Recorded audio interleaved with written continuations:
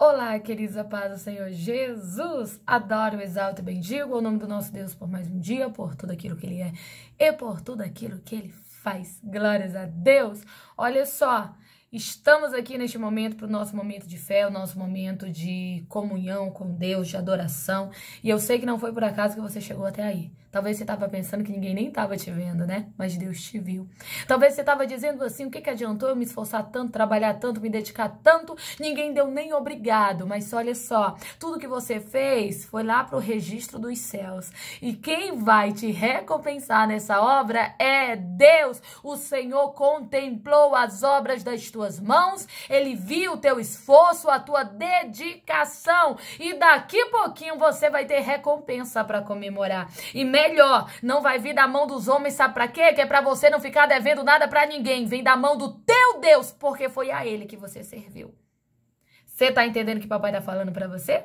Já declara aí, já tô entendendo a palavra, Jesus. Já estou entendendo a palavra, Senhor.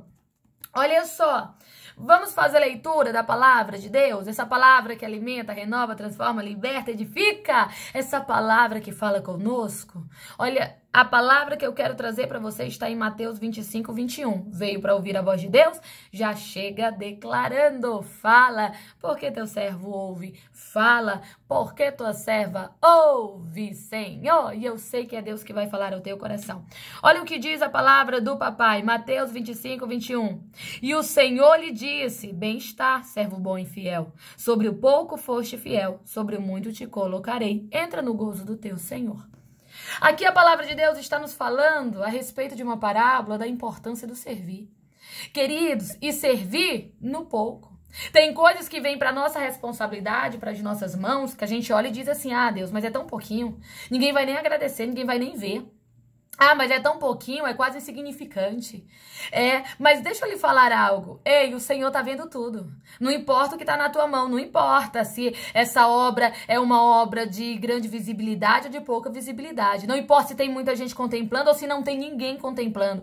Apenas faça e faça com excelência. Sabe por quê? Porque aquele que é fiel no pouco sobre o muito Deus coloca.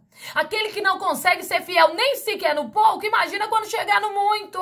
Vai fazer de uma maneira relaxada, desleixada, tá entendendo? Deus tá falando para você que nesta hora que ele contempla as tuas obras, parece insignificante aos olhos de muitos. Ah, tem gente que não volta nem para agradecer.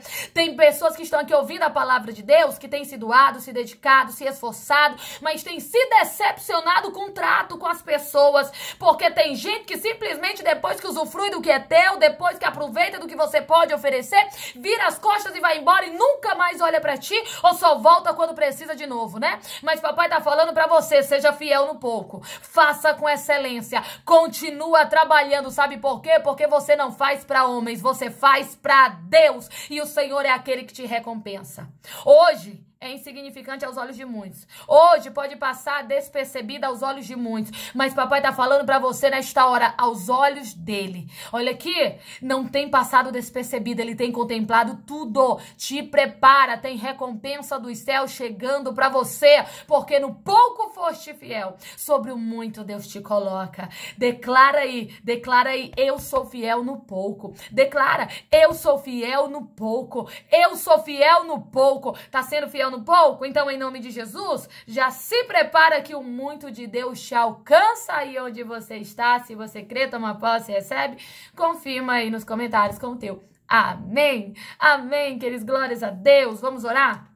Põe teu pedido, tua petição, teu pedido de oração. Vamos clamar ao Senhor nesta hora, com a certeza de que Ele é aquele que nos ouve. Ora daí que eu oro daqui e juntos nós obtemos vitória. Oremos. Senhor, meu Deus e meu Pai, estamos aqui na tua presença para te adorar, glorificar, bendizer, enaltecer teu santo nome. Senhor, obrigado porque até aqui o Senhor tem sido conosco, sim. O Senhor tem nos ajudado, tem nos feito entender que nós não trabalhamos para homens, mas para ti, meu Pai.